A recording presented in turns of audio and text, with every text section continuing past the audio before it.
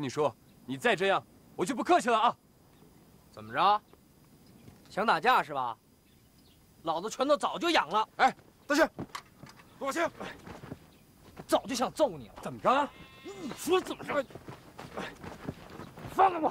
我让你阿米尔，给我去！姐夫让你你们给我住手！放开我！我让你给解放军敌人！哎，不听命令了是不是？都给我松开！起来！阿米尔，不要再打了。好。阿米尔，我跟你说，回去我再跟你算账。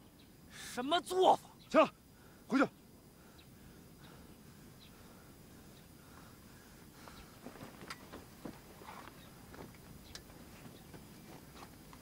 驾驾！阿米尔，怎么办呀？你要是回部队，他们会关你紧闭的。太不近人情了，我都不知道自己有什么错。大不了就脱下了这身军装。这草原那么大，就在草原里放羊吧。阿米尔，我有时候想，你要是不是一个解放军，那该多好啊！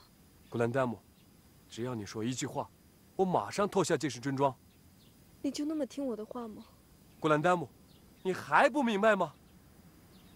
不，你还是穿着这身军装吧。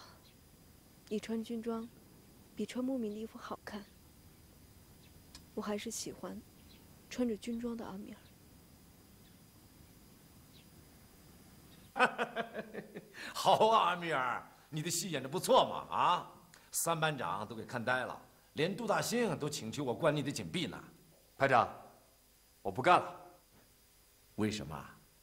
一想起来就恶心，我恨不得掐死那个女特务，还把她抱在怀里呢。这就是对你的考验嘛啊！阿米尔，你的鹰笛吹得不错，接着吹，等把古里巴尔对你的怀疑吹没了，那才是本事啊！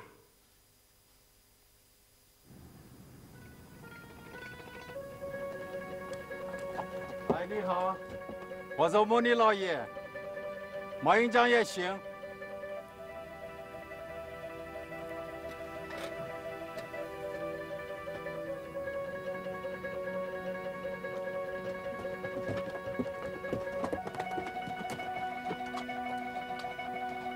现在的国际局势风云变幻。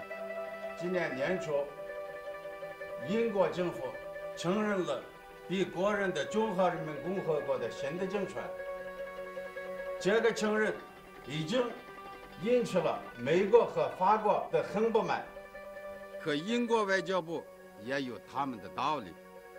中国共产党已经控制了几乎整个中国的大陆，得到了中国人民的拥护。我们的英国外交部说，如果约瑟夫·斯大林为新生的中华人民共和国提供了支持，如果他不提供支持，那就在联合国内引起了战争。蒋介石去台湾以后，解放军四五月份解放了海南岛和舟山群岛，下一步的目标大概是金门。台湾当局已经赶到大南领土。为了得到好一点的结局，前不久派人试探国共和谈问题。当然，这我只是听说。那是不是要和谈呢？那很难说。其实大家心里都很明白，现在的世界格局是东西两大阵营争霸。毛泽东的中华人民共和国和苏联来往密切，共产党阵营。和资本主义阵营对立分明，僵持不下，谁胜谁负，实在难料啊！萨文子爵，好像你此次来是专门给我们讲形势的哈？请马英江表误会，金沙泉的消息闭塞，我只是和大家通通气。我和米洛塞瓦经过金沙泉，想翻过萨拉尔山谷回塔哈尔。我去在那里存在的东西就回过去了，请马英江能够放心。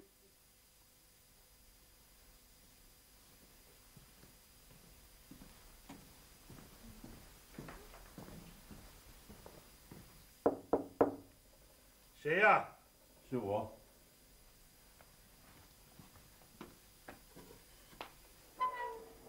萨文子爵，赶了一天路，你还没睡呀？睡不着啊！明天我要走了，特意来向你告别。请。还是你好啊！想走就走，想回来就回来。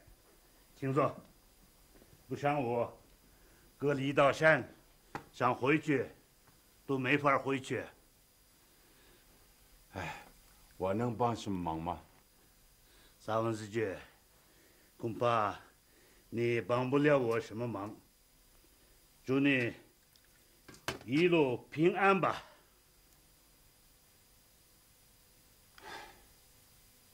我真没想到马占江拿你们一家人当人质，恐怕他不会心思手软的。莫尼先生，你有没有贵重的东西？我帮你带出去。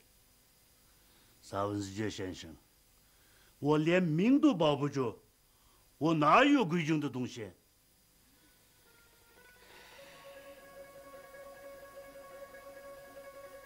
珍珠啊，金珠啊，保佑我吧！莫尼，不要绝望，这两块金条你拿去用吧。不用了，不用了，不用了。你还拿着，拿着，你拿着。萨文子爵。我没有白交你这个朋友。我回到英国，我会常常想你的。莫妮，有一件事情想问你。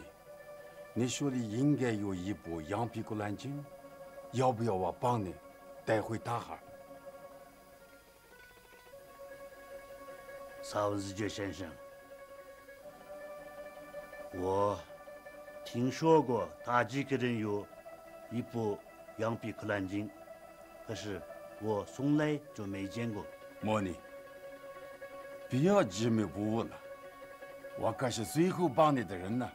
难道你人生这么贵重的东西消失在金沙川？那可是对整个人类犯下的罪恶。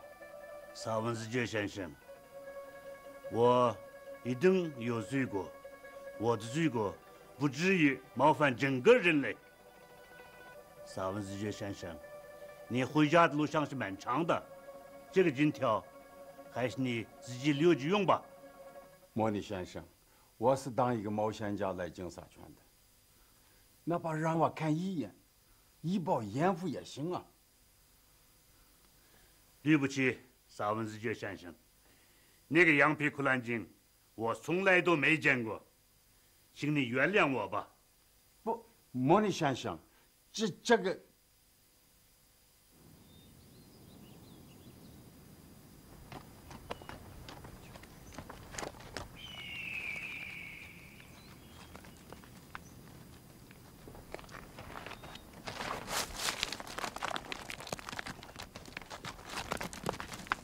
谁？哎，哦，别别开枪！我是乌里子。乌里子，你藏在这儿干什么？我在这儿躲好几天了，看见你和古兰丹姆在一起，真替你们高兴啊！要说这个努鲁子死的，呃，真是时候啊！哎，你们两个小情人又可以在一起了。哎哎，别开枪！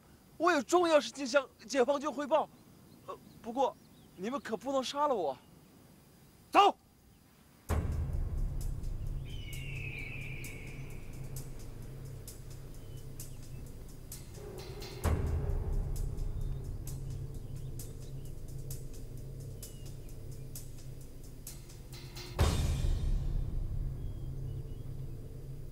现在这古兰达姆是冒充的，他不是真古兰达姆，他是国民党特务。你怎么知道他是国民党特务？我我见过他在墓地里发报，可他威胁我，要是我说出去了，就把我杀了，所以我就跑了。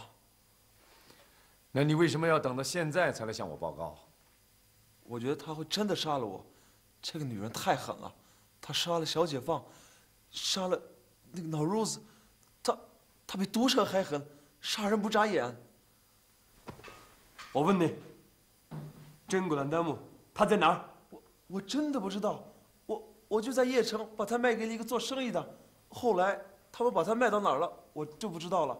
哎，你们可以问贾古兰丹木，他一定知道。要不他怎么会那么清楚他的事情？也许他们为了冒充他，有可能把他杀了。不，你们把贾古兰他们抓回来一问，不就知道了吗？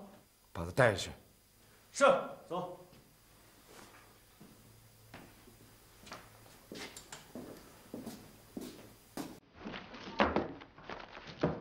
哎你找谁啊？我找拜克尔县长。哦，县长，有人找。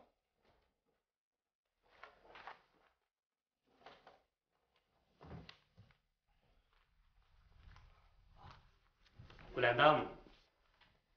兰达姆，你是来为老奴子骗烈士的事儿？是。过来，你去吧。哎，好。拜克尔县长。你不该到这儿来，太危险了。我让你把乌里子杀了，你为什么不去呢？现在乌里子被解放军给抓住了，拜克尔县长，你可记住了？要是乌里子活着，我恐怕得死。我要是死了，您可能也活不了多久。县长，您可要快点啊！啊！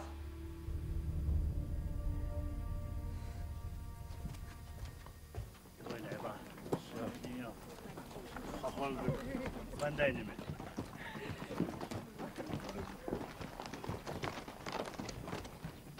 马营长，我问你一句，你为什么不放莫尼一家走？他们是普通的老百姓啊，他们不应当。当人质，放他们走了，军心就散了。你不让他们走，难道军心就不散了？我不明白，你为什么不投降？你呀，只会倒卖文物，还会干什么？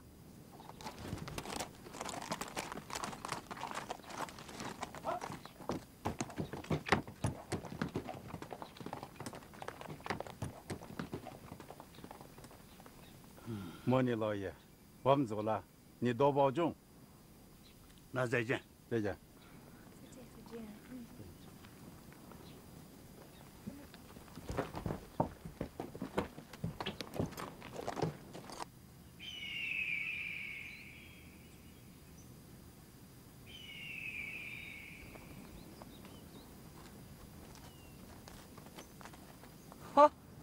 瞧瞧啊！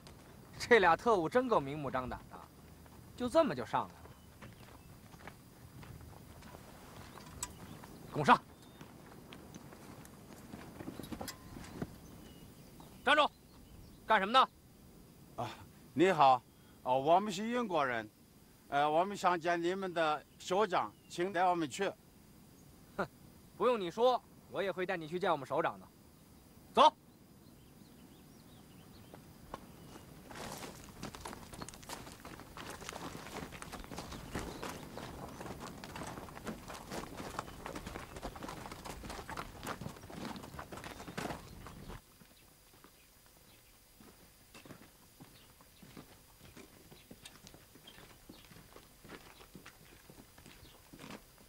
快点！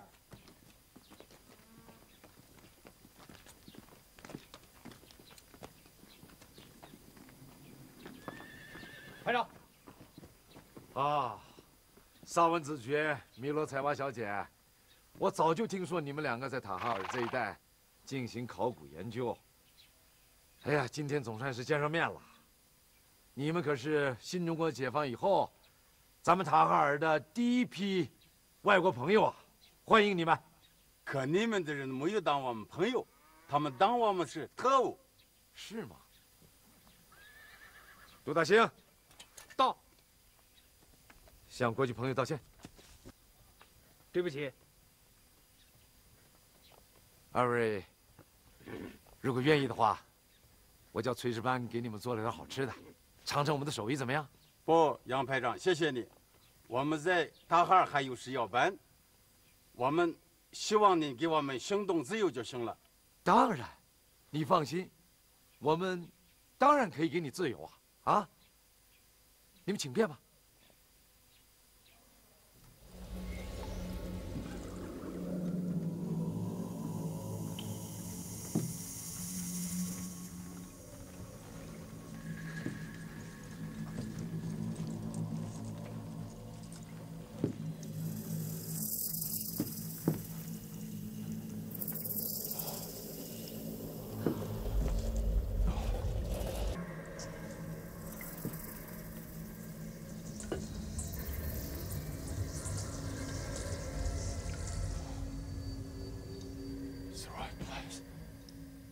杨排长，我存放在你们山上的东西丢了，是吗？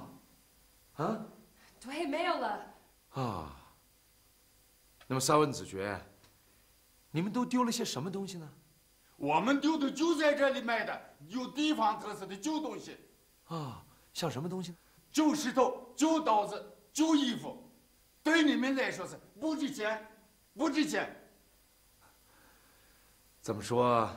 你们二位是喜欢收藏老东西的了啊！我知道了。三班长到，过来。哦，萨文子爵，吴律师，你偷走我东西，东西在哪儿？告诉我。萨文子爵，萨文子爵，你冷静一下，你不要着急。你的这件事儿，我一定帮你解决了。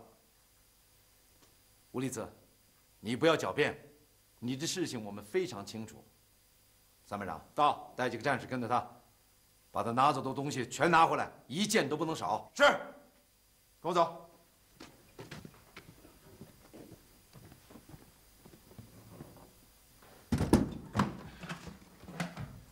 三文子爵，从这两个箱子的分量上看，你丢的东西一定不少啊。谢谢。杨排长，谢谢你把东西给我们找回来了。不用谢我，这是我们应该做的。参谋长，到，把箱子打开，让沙文子爵看看他的东西丢了没有。杨排长，不用了，这我们还要赶路。那怎么行呢？万一你的东西丢了，回去一看啊，少了什么，那我们可负不起这个责任呐。啊，没关系，这个。啊，小东西，啊，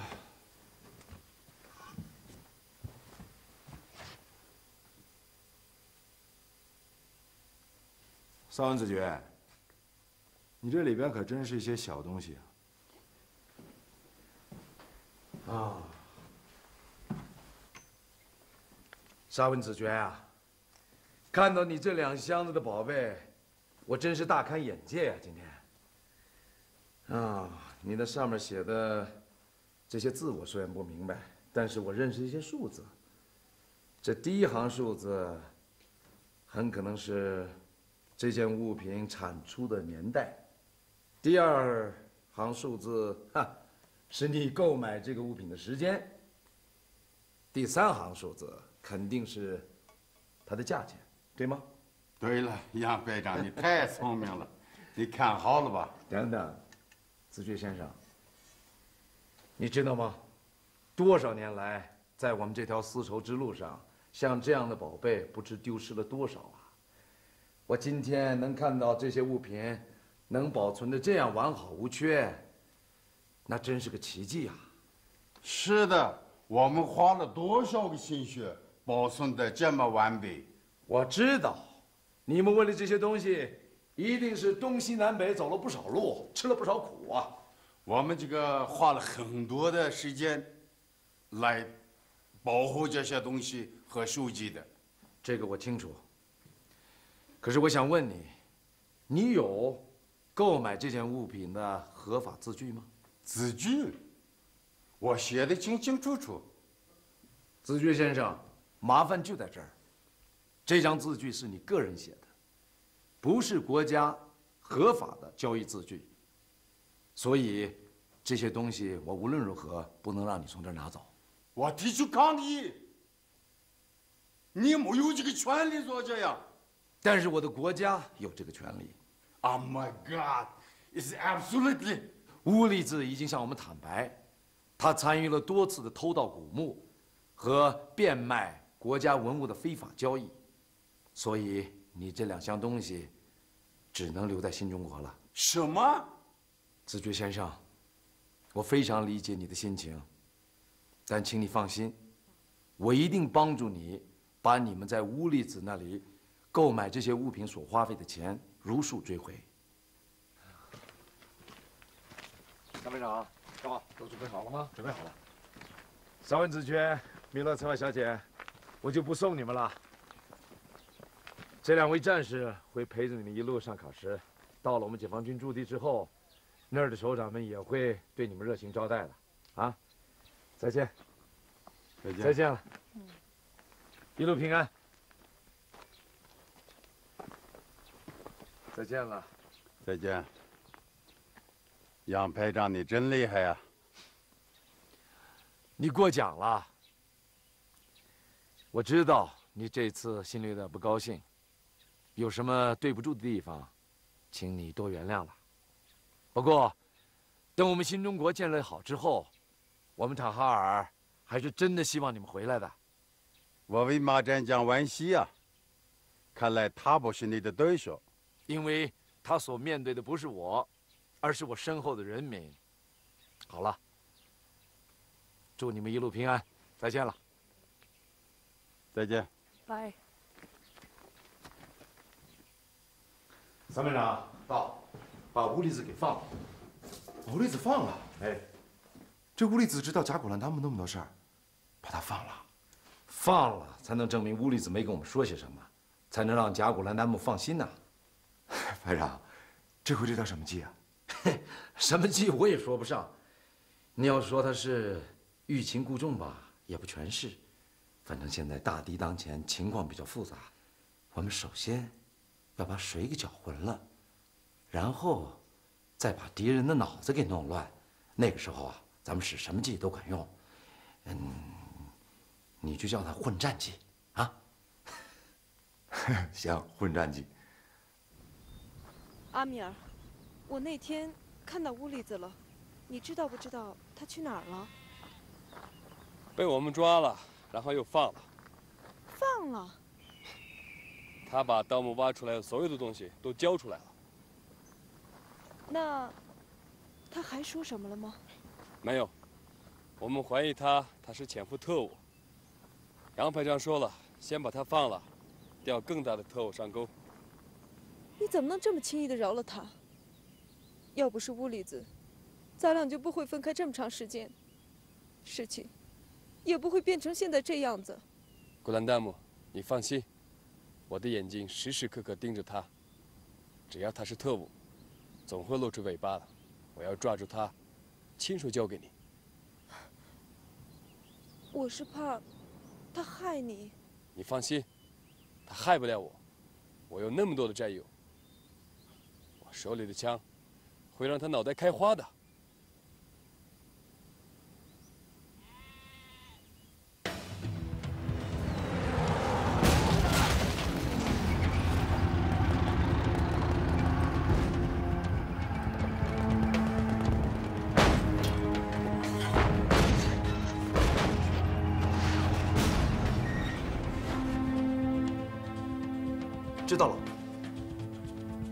刻出发。是。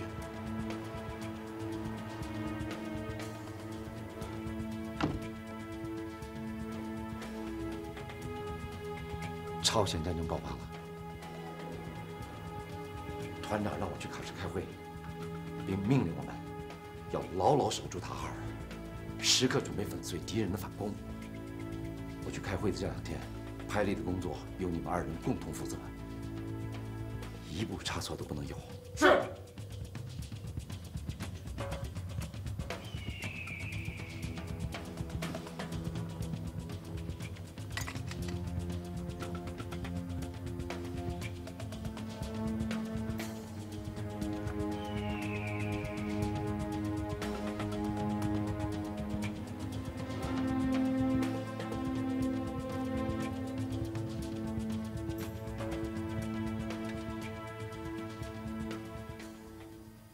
根据绝密情报，朝鲜半岛的形势已经波及到新疆。除了金沙川的匪徒，其他隐藏在全疆的匪徒也都蠢蠢欲动。他们想利用这个机会做最后的反扑。蒋介石已经任命了他的光复新疆的特派员，一个叫代号真神的。真神，这个家伙啊。应该就是地下明珠的顶头上司，他是相当神秘的，在我们的绝密情报中，都提供不出他在国民党各大系统的任何阅历。不过有一点可以明确，十年前他曾在我们的境外第三股受过三年的培训，和当地的军政各界关系都比较密切。回国以后啊，就神秘的消失了，在任何场合都找不到他的踪影。倒是有一张照片，你看看，就是背后这个，只能看到模糊影子的。对，这是一九四九年蒋介石来新疆的时候拍摄的。这样看来，他倒成了蒋介石一个秘密武器。明白了，不管它是什么武器，我们一定要把塔哈尔。变成埋葬他的地方，并且我们要严阵以待，狠狠地打击这帮做着分裂梦的顽匪。我们就是要严密布置，喀什的兵力会密切和你配合的，一定要把这股敌人一网打尽，不留一个。是，我们绝不放掉一个敌人。布兰达姆，阿米尔。给你买了吃的，我还有紧急任务，有空再来看你。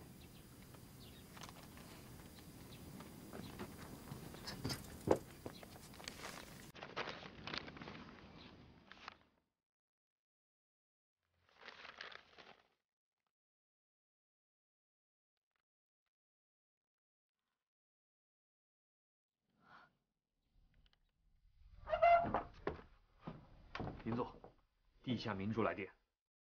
朝鲜战争爆发，美国出兵朝鲜，第三次世界大战已经开始，我们光复的希望已来临。我正等待真神指示，望你部厉兵秣马，火速恢复士气，以备战斗。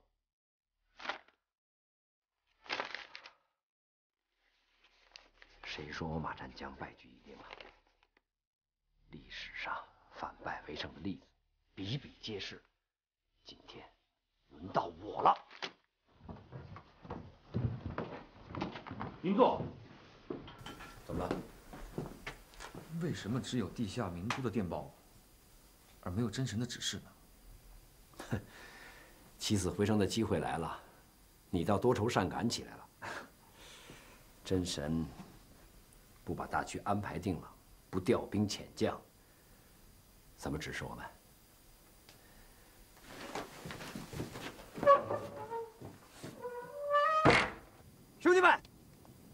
听我宣布个消息：朝鲜战争爆发，第三次世界大战开始了。我们打回塔哈尔的机会终于来了。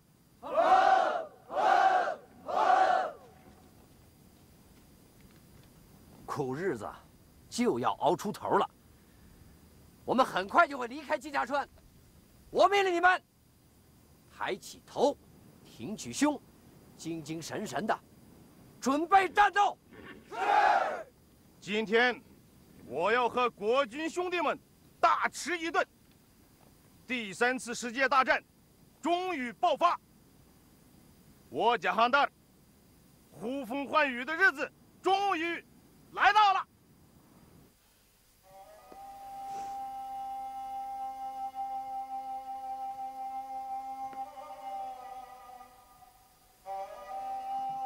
孩子，你想什么呢，孩子？奶妈，我害怕。马占江的人都那么兴奋，肯定要打仗了。奶妈，我们能乘乱走吗？走，我们上哪儿去呀，孩子？山那边。我想去找我的阿米尔。孩子，这个话可不能说，马营长要知道了不得了呀。要听奶奶的话，我们要老老实实的待在这里。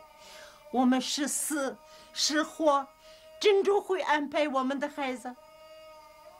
老爷，老爷，怎么了？我听马占江的人说，在朝鲜爆发了战争，第三世界大战就要开始了，他们出头之日也快到了。恐怕我们塔哈尔回不去了。哎，小姐哪儿去了？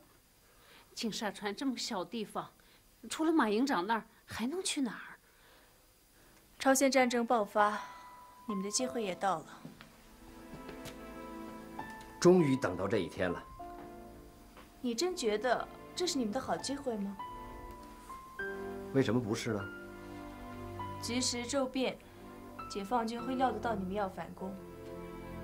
你这些兵力，你觉得你行吗？阿依娜，怎么说你都是个女人，不懂战争。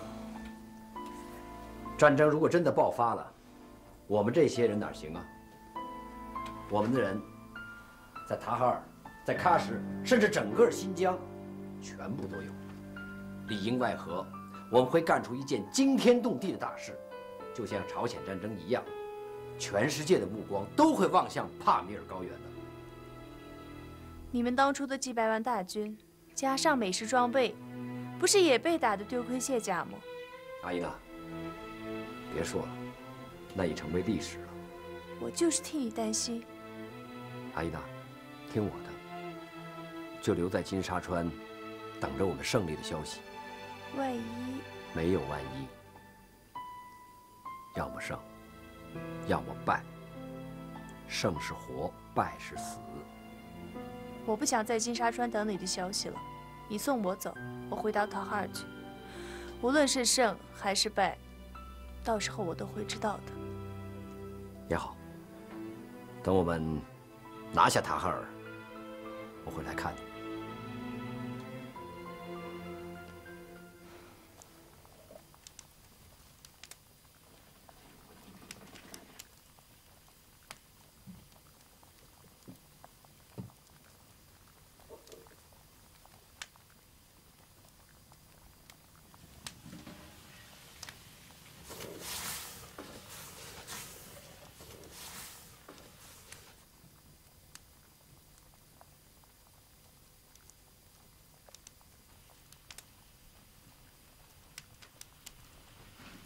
纯洁的姑娘，你一定要挺住，不管怎么样，都要活下去。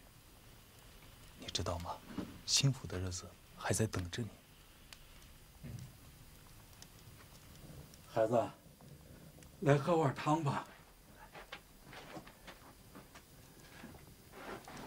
卡拉说的对，一定会活着离开这个地方的。将来，一定会有好日子，会儿女成群的。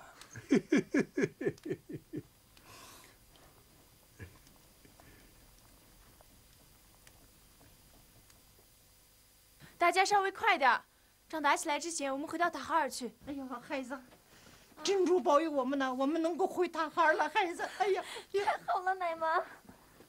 妈，只要拿轻便好拿的，保命要紧。哎呀，收拾什么呢？这些全是烂东西，我们回去的话什么都会有的。老爷，哎呀，你赶快叫马营长，我们什么都不拿了，就这样走。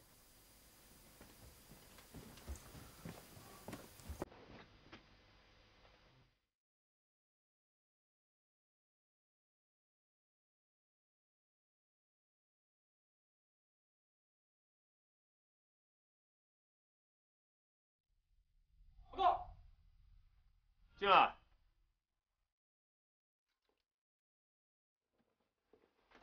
您坐，这个老头说有重要事要见你。什么事儿你说吧。让他出去。你先出去。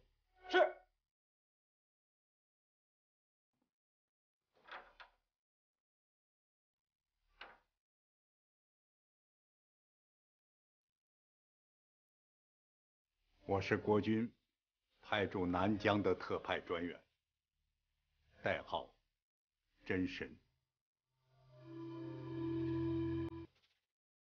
你拿什么证明你是真神？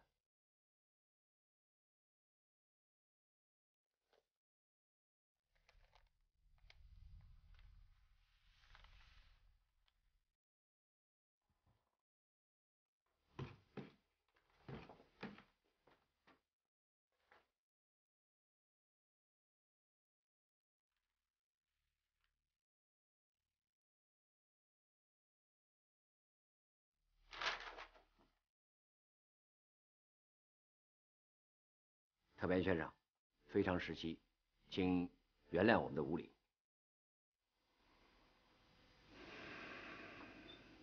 马营长，我欣赏你的谨慎。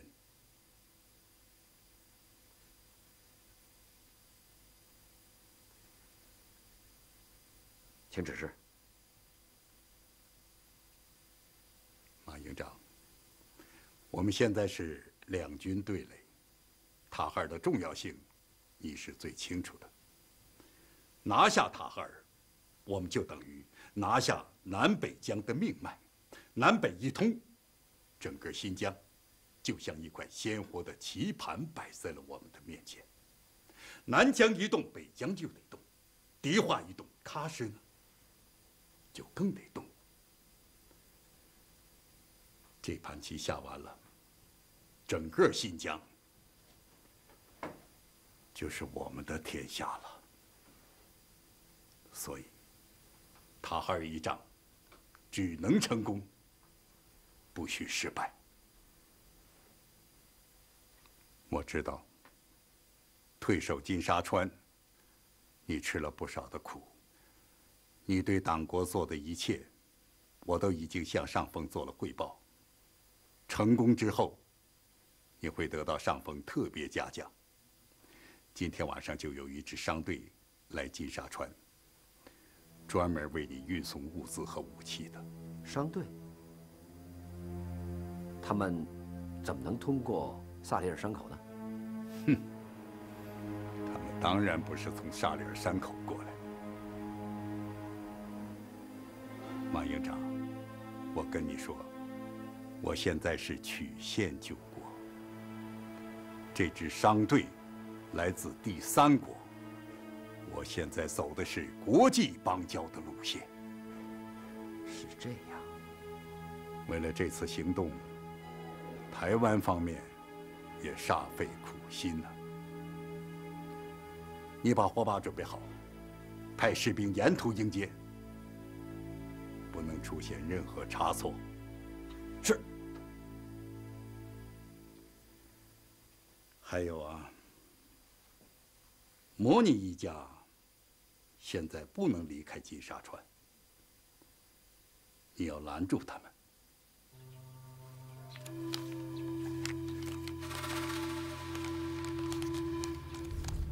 马营长铮铮铁骨啊，可是对阿依娜小姐却是一腔柔肠。哼，大战在即，马营长如此安排，是不是欠妥呀？我没觉得，我把他送走，没了后顾之忧，我可以勇往直前。你的意思是现在就让他们走，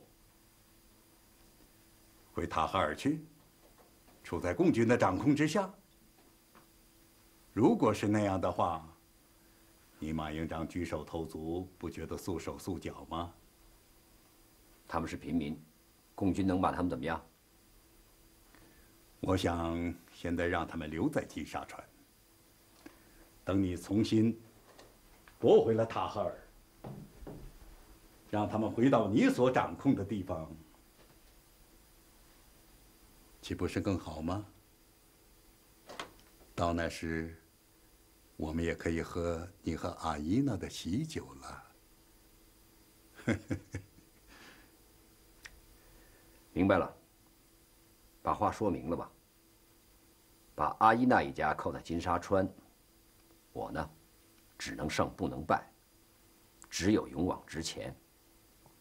我带兵打仗，却把一个女人扣在这儿当赌注，笑话！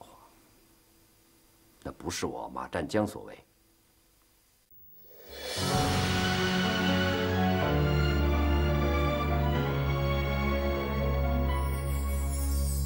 花儿为什么这样红？为什么这